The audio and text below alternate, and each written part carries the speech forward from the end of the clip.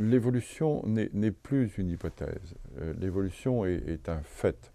On sait que c'est comme ça que ça marche, et on sait que les êtres vivants se descendent les, uns des autres dans une sorte d'immense bouquet, et ce depuis 4 milliards d'années, pour euh, enchaîner les adaptations aux environnements qui eux-mêmes changent. Ça, c'est clair. Mais le processus de l'évolution lui-même, les modalités de l'évolution euh, elle-même, euh, ne, sont pas parfaitement connues, parfaitement maîtrisées. Donc c'est la, grande chose, je crois, enfin pour moi en tout cas, qui, qui devrait aboutir, ou en tout cas s'éclairer dans les, dans les années qui, viennent. Le classement des, des sites paléo-anthropologiques, bien qu'encore une fois le terme soit barbare, et, préhistorique ou archéologique, euh, est un, classement extrêmement important. Je crois extrêmement important, bien sûr, pour, euh, pour les chercheurs, mais, mais aussi pour l'humanité tout entière.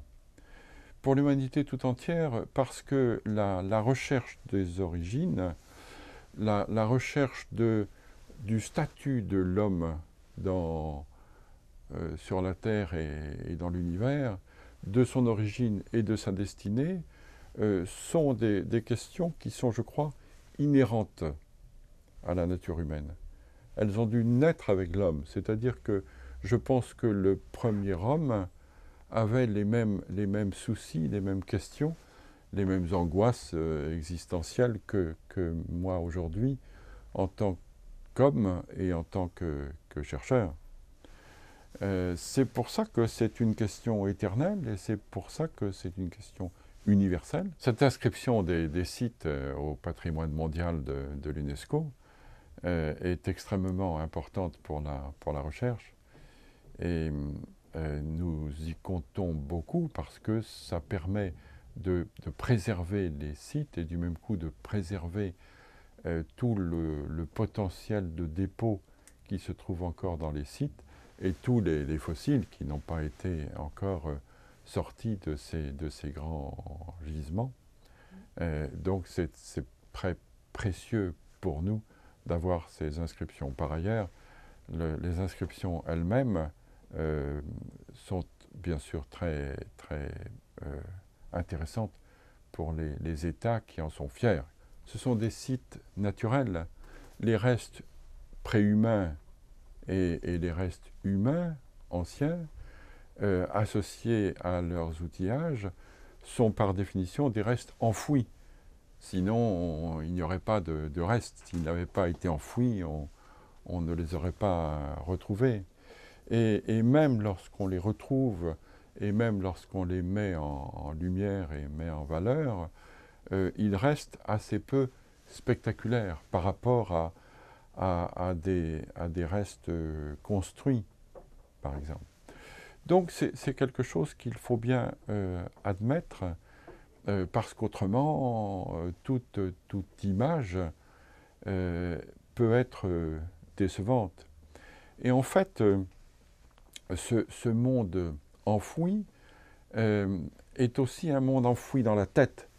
je veux dire que face à un site euh, si, vous dites aux visiteurs, aux personnes que vous accompagnez, ça m'est arrivé souvent, que c'est là qu'a été trouvé Toumaï, euh, c'est là qu'a été trouvé Lucie, c'est là qu'a été trouvé euh, le, premier habitant, le premier homme, tout de suite, c'est aussi enfoui dans la tête, mais tout de suite, la, valeur, extrême, symbolique de l'endroit euh, s'illumine, c'est clair, si vous voulez.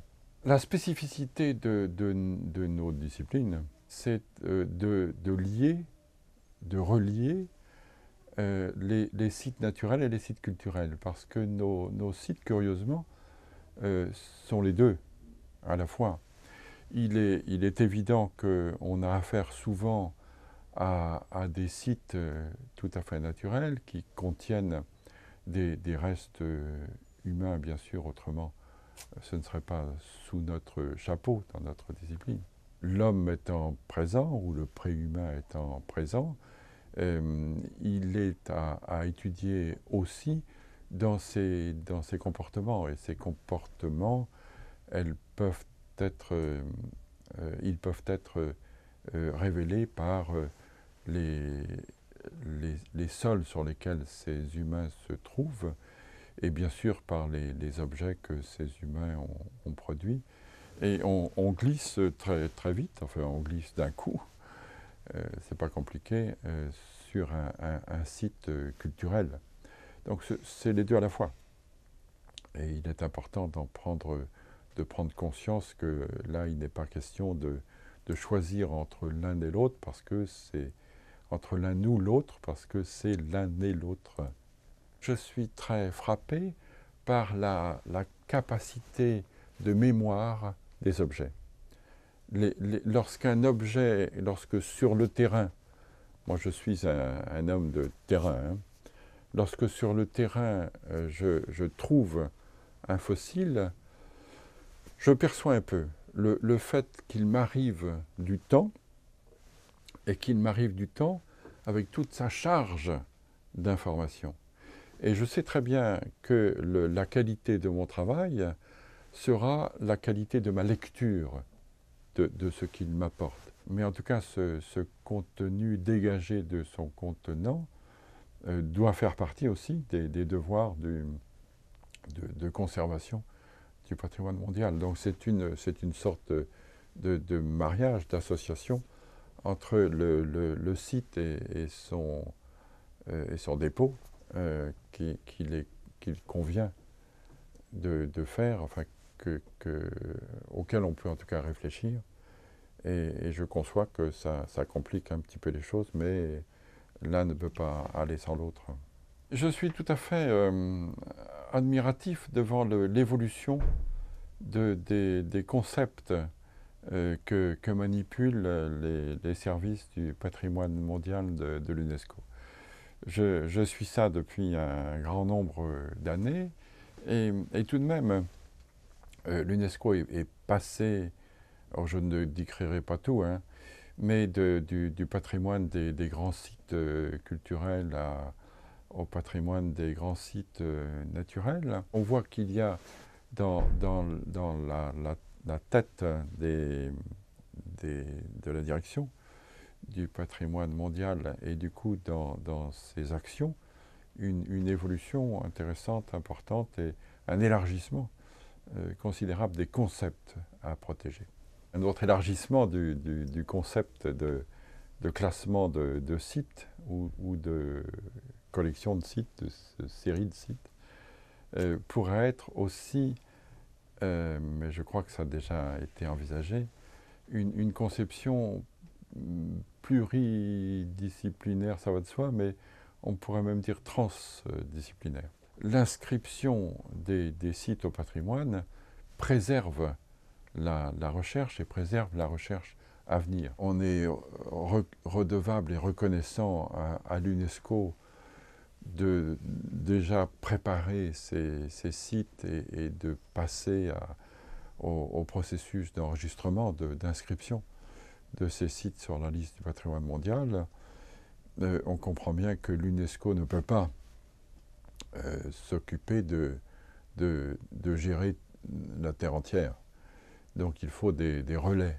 Et, ces relais doivent passer en effet par euh, l'université pour former euh, des, sortes de, gestionnaires, de, gérants, je ne sais pas que dire, de conservateurs de ce patrimoine, ce qui est quand même un, exercice particulier, d'autant plus que les sites sont très divers, de plus en plus divers, de plus en plus compliqués sûrement dans leur gestion, et, ça mérite une, préparation euh, euh, très, très spécifique.